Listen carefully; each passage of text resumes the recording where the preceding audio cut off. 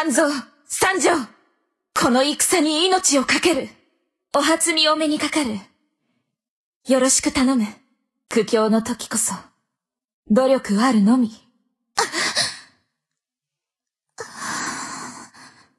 この戦い、貴様には忘れられないものとなろう。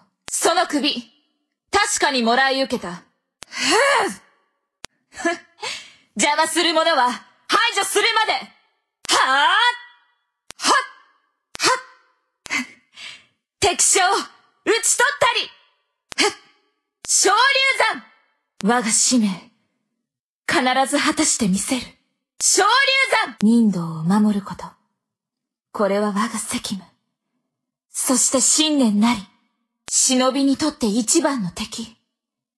それはおごり、超一つ。飛べども飛べども、石原なり。忍びであれば、誰しも秘密は抱えているもの。うっ